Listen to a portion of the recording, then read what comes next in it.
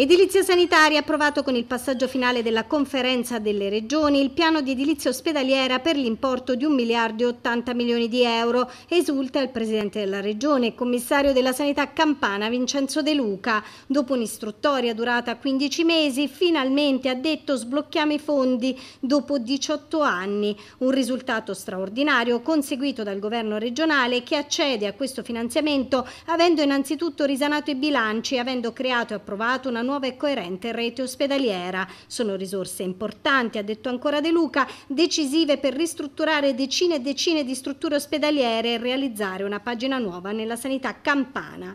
Non esultano invece gli ospedali di Polle e Sapri che sono sì nella programmazione ma non nella prima annualità essendo anche carenti di progetti esecutivi. Da tempo il piano terra del presidio dell'Immacolata attende un intervento edile urgente a cui però non è stata mai data la giusta priorità. Queste risorse servono ad ammodernare decine di ospedali nella regione, nella provincia di Salerno a completare il polo oncologico a Pagani, il pronto soccorso a, ad Eboli, le sale operatorie ad Eboli, a realizzare ospedali importanti come quello della Costiera Sorrentina, l'ospedale San Paolo a Napoli, è un investimento gigantesco.